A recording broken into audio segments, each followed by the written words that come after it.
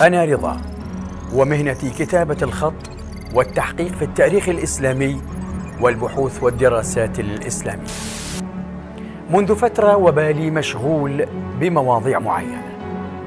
كآخر الزمان ومخلص العالم والمزاعم المتعلقة بهما. لذا فقررت أنا وأصدقائي أن نجري بحوثا في هذا المجال ونضع نتيجة تلك البحوث بين أيديكم. أيضا الرواية التي في بشارة الإسلام فيها أخطاء. هذه الأخطاء تفيد القاطع.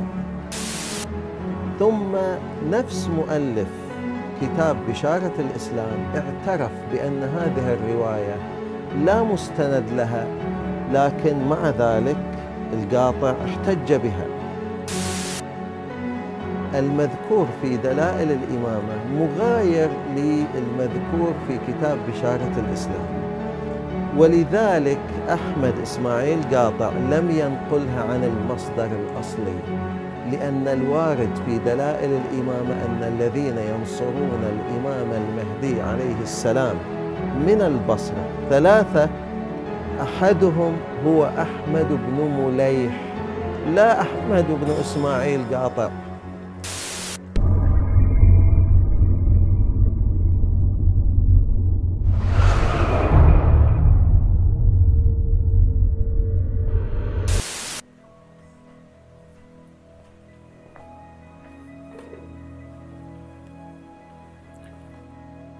ثمة نقطة دقيقة ينبغي الإشارة إليها. لاحظوا معي. يجدر بشيعي مفكر ومنطقي أن يتأمل ما يجري من حوله بدقة وإن كانت هذه الدقة مملة. إن هذا الفيلم الوثائقي قد تم إنتاجه بالاعتماد على مصادر علمية موثوقة وبغرض رفع مستوى الوعي. لذا فأرجو أن تتابعوه بانتباه أكثر. لقد سبق وقلنا بأن أحد المآخذ على فرقة أحمد البصري هو تحريف وتقطيع بعض الروايات الواردة عن الأئمة عليهم السلام حول علامات الظهور واستغلالها بما يخدم مصالحهم. في هذه الحلقة سنحاول تسليط الضوء على هذا الموضوع. لقد ألف أحمد البصري بعض الكتب ويسمى أحدها بالمتشابهات وقد تم طباعة هذا الكتاب من قبل دار نشر تابعة له. يقول أحمد الحسن في كتاب آخر له تحت عنوان بيان الحق والسداد من الأعداد في الصفحة الحادية والأربعين السطر الأول لقد دعوت العلماء وطلبة الحوزة العلمية للرد على كتاب المتشابهات الذي صدر منذ أكثر من عام ولحد الآن لا يوجد أي رد.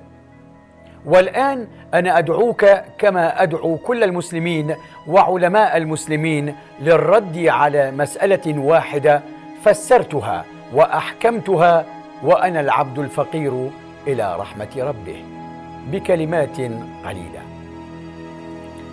لاحظتم أيها المشاهدون الأفاضل تحدي مدعي الإمامة للعلماء على الرد والإجابة عن مسألة واحدة. إليكم بعض هذه الردود المتعددة. قمنا نحن ومن منطلق زعم أحمد الحسن هذا بدراسة نقدية لرواياته. ينقل أحمد البصري في كتاب المتشابهات صفحة 228 كإجابة على سؤال بخصوص شخصية اليماني رواية عن كتاب بشارة الإسلام مستدلا بها على أن النبي الأكرم صلى الله عليه وآله قد تحدث عن دعوة شاب يدعى أحمد البصري وقال بأنه خليفة الإمام المهدي عجل الله تعالى فرجه الشريف دون غيره. ويقول الشيخ علي آل محسن صاحب كتاب الرد القاصم لدعوة المفتري على الإمام القائم. الرواية التي احتج بها أحمد إسماعيل قاطع وذكر أنها تشير إليه نقلها عن كتاب بشارة الإسلام للسيد مصطفى الكاظمي المتوفى سنة 1336 هذا المؤلف نقلها عن كتاب المستدرك للحاكم. فهذه رواية عامية وليست من روايات أهل البيت عليهم السلام. ونص هذه الرواية عن ثوبان رضي الله عنه. قال قال رسول الله صلى الله عليه وسلم يقتتل عند كنزكم ثلاثة كلهم ابن خليفة ثم لا يصير إلى واحد منهم. ثم تطلع الرايات السود من قبل المشرق فيقاتلونكم قتالا لم يقاتله قوم. ثم ذكر شيئا فقال إذا رأيتموه فبايعوه ولو حبوا على الثلج فإنه خليفة الله المهدي. أحمد إسماعيل قاطع نقلها عن بشارة الإسلام ولم ينقلها عن المصدر الأصلي ليموه على القراء بأنه نقلها عن مصدر شيعي. ولم يذكر الراوي وهو ثوبان حتى لا يعلم أنها عامية بل قال مباشرة قال رسول الله صلى الله عليه وآله كذا وكذا.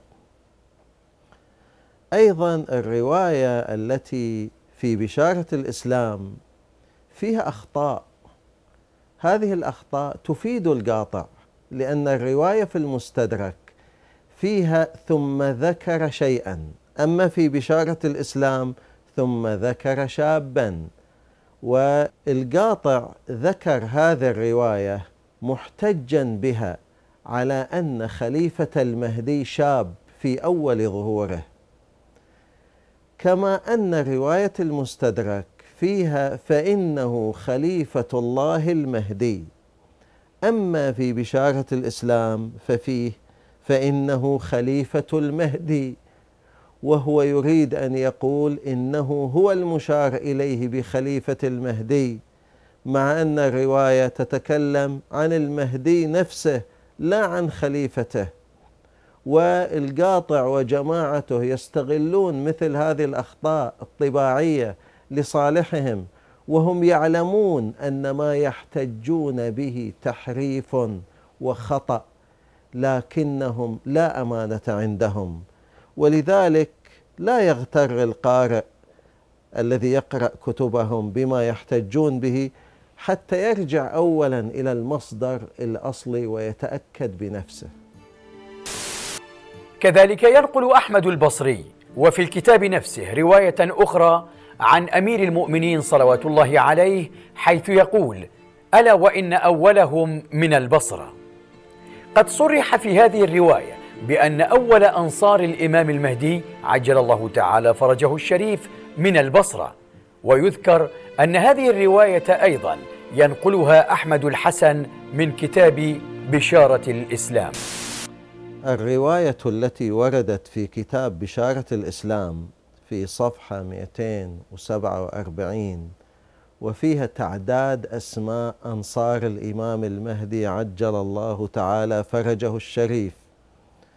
المؤلف قال ومما ينسب إلى أمير المؤمنين عليه السلام هذه الخطبة التي منها ثم ذكرها وقال بعد ذلك إن هذه الرواية لا تعارض الرواية السابقة الواردة عن الصادق عليه السلام. لماذا؟ يقول لعدم الوقوف على مستند لها يعني يعني على مستند لهذه الرواية بخلاف الرواية السابقة. ثم نفس مؤلف كتاب بشارة الإسلام اعترف بأن هذه الرواية لا مستند لها لكن مع ذلك القاطع احتج بها. وكما هي عادة أحمد إسماعيل قاطع وأتباعه فإنهم يموهون على القراء ويكذبون وهم يعلمون. الوارد في هذه الرواية هو قوله عليه السلام ألا وإن أولهم من البصرة. وآخرهم من الأبدال. فأما الذين من البصرة فعلي ومحارب. في هذه الرواية لا يوجد ذكر لشخص اسمه أحمد أصلا. فكيف تدل هذه الرواية على التنصيص على أحمد إسماعيل قاطع وهي تذكر غيره ولا تذكره؟ لكنه أخذ موضع الحاجة فقط. وهو أولهم من البصرة. وأما الباقي الذي هو ضده فتركه. يقول أحمد الحسن في أحد كتبه عن عيسى الخشاب قال قلت للحسين بن علي عليه السلام أنت صاحب هذا الأمر؟ قال لا ولكن صاحب الأمر الطريد الشريد الموتور بأبيه المكنى بعمه. يضع سيفه على عاتقه ثمانية أشهر. إن كنية الإمام المهدي هو أبو القاسم فلا يمكن أن يكون مكنى بعمه العباس ابن علي بن أبي طالب عليهم أفضل الصلاة والسلام. وبالتالي فإن الروايات تشير إلى شخص آخر مكنى بأبو العباس وهو أحمد البصري. يقول أحمد البصري بخصوص عبارة المكنى بعمه والمراد من الكنية هنا أي أبو فلان وعمه المقصود في الرواية العباس بن علي عليهما السلام. الإمام المهدي محمد بن الحسن العسكري سلام الله عليه له عدة كنى منها أنه مكنى بأبي جعفر. منها ما رواه الشيخ الصدوق قدس الله نفسه في كتاب كمال الدين وتمام النعمة بسنده عن حمزة بن أبي الفتح.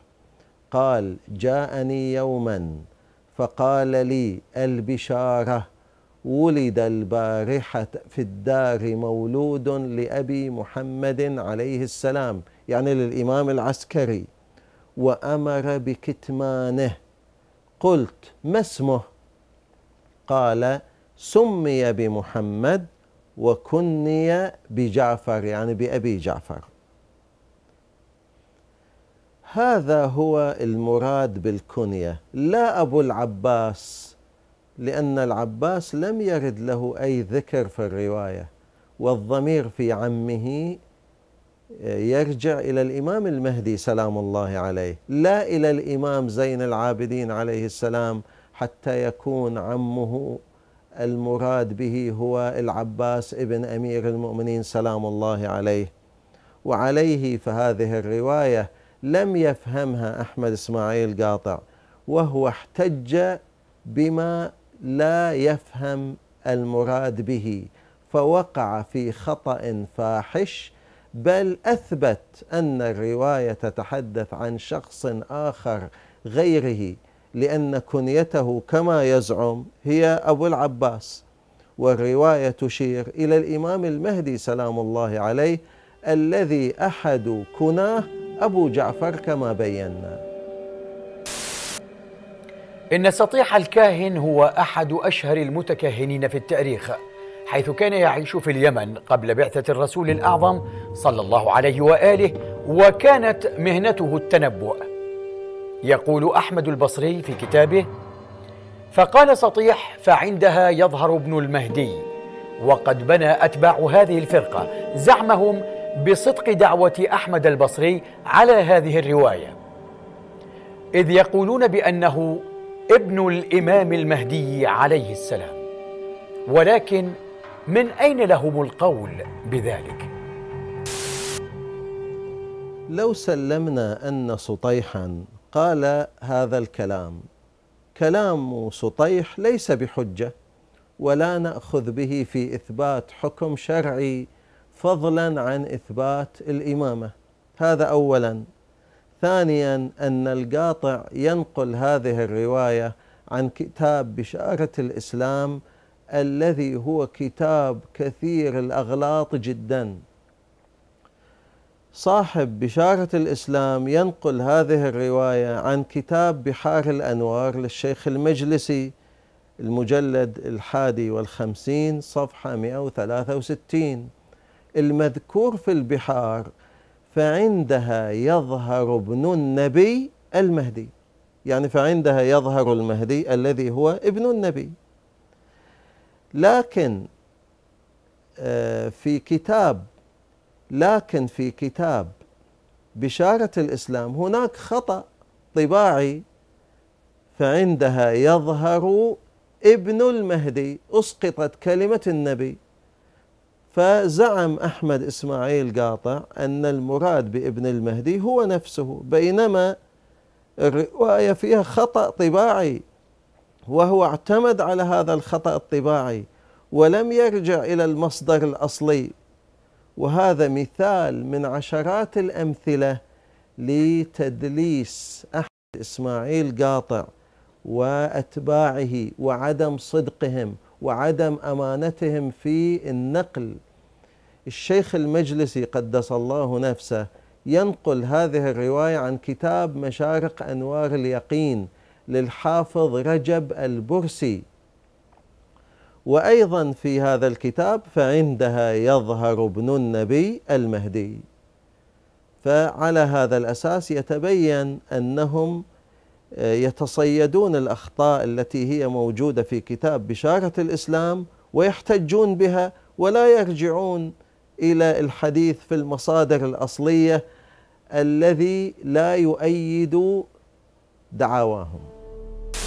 علينا أن ننتبه إلى أن أحمد الحسن وإن كان مطلعا على وهن دعواته وبطلانها إلا أنه استعمل خدعة قديمة لإعطاء نفسه ودعواته أهمية لكي يلفت أنظار العلماء والباحثين الكبار حتى يستجيبوا لتحدياته ويضطروا لإجابة شبهاته الواهية والتي لا قوام لها.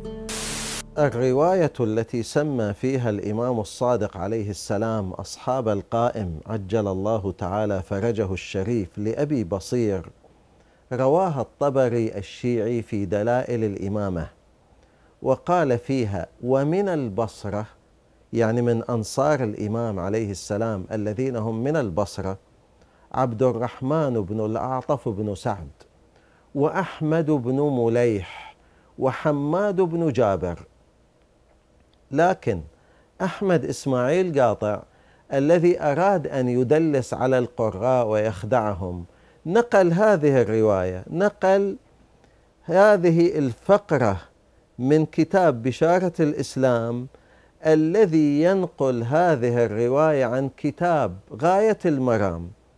يعني أحمد إسماعيل قاطع ما نقلها عن المصدر الأصلي نقلها عن غاية المرام للسيد هاشم البحراني والسيد هاشم البحراني ينقلها عن دلائل الإمامة. المذكور في دلائل الإمامة مغاير للمذكور في كتاب بشارة الإسلام. ولذلك أحمد إسماعيل قاطع لم ينقلها عن المصدر الأصلي. لأن الوارد في دلائل الإمامة أن الذين ينصرون الإمام المهدي عليه السلام من البصرة ثلاثة أحدهم هو أحمد بن مليح. لا أحمد بن إسماعيل قاطع. في نسخة بشارة الإسلام المغلوطة التي فيها كثير من الأخطاء الطباعية ورد فيها بدل أحمد بن مليح أحمد ومليح. فلذلك أحمد إسماعيل قاطع نقل هذه الرواية من بشارة الإسلام ليزعم أنه هو المشار إليه بأحمد.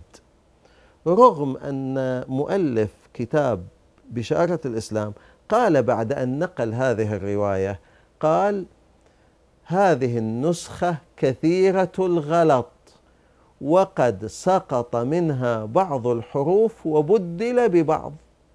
مع ذلك أحمد إسماعيل قاطع نقل من هذه النسخة المغلوطة لأنه استفاد من الخطأ الطباعي ولم ينقل عن المصدر الأصلي. إن هذا الكتاب يضج بهذه الإشكاليات التي لا يسعنا المجال هنا للتطرق إلى جميعها. لذا فنظرا إلى زعم أحمد الحسن والذي أشرنا إليه في البداية فإن كتاب هذا الإمام الزائف مليء بالأخطاء الجسيمة.